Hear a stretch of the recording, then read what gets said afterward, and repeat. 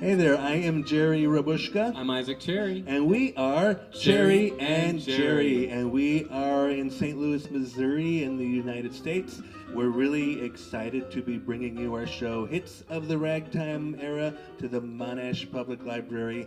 This is our first time performing for Australia, and we couldn't be happier about it. That's right. Some of the songs we'll be performing is Alexander's Ragtime Band, Strutter's Ball, St. Louis Blues, and also The Entertainer by Scott right. Joplin, which originated right here in St. Louis. And we'll be playing on piano and percussion. We'll also do a few hits from back in the day that may be a little bit more unfamiliar that we'll be introducing you to as well.